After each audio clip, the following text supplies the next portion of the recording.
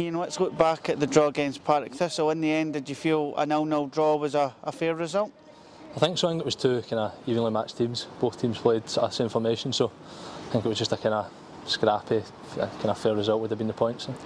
In terms of uh, the game overall, you managed to, to get your first minutes of the season in the second half. You must have been delighted to, to not just get back into the matchday squad, but also get back out onto the pitch. Yeah, it was good. It's obviously been a while, a long time coming, but it's good to get back out there. I don't know what it was, 25, half an hour or something, but felt like a bit more than that, but it was good to, to get back out there.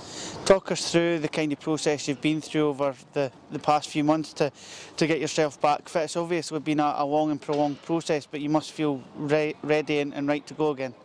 Ah, it's just been frustrating. I kind of had uh, difficulty with both my Achilles, just been kind of bouncing for, from one to the other, so it's been difficult really to get over it, but hopefully I'm on the right track now. And in terms of the game on Tuesday, because they're coming thick and fast this week, um, a Fife derby, so it's a, an easy one to get up for, isn't it?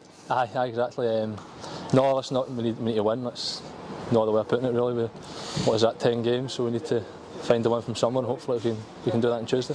And in terms of yourself, again, you, you said there that you, you got the time on the pitch. So uh, now that you've kind of got that taste for it again, you'll, you, will be wanting to push even more, get more minutes, and, and get your first start as well.